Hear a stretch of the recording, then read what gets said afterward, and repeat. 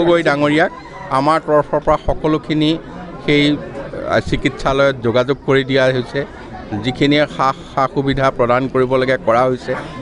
তেখেতে যিখিনি চৰকাৰীভাৱে পাব লগা ব্যৱস্থা আছে বিধানসভাৰ পৰা কৰা হৈছে আৰু তেখেতৰ আমি বিশেষভাৱে তাৰ চিকিৎসালয়ৰ যিসকল মুৰব্বী তেখেতসকলৰ লগত আমি যোগাযোগ ৰক্ষা কৰিছোঁ আৰু তেখেত অতি সোনকালে সুস্থ হ'ব।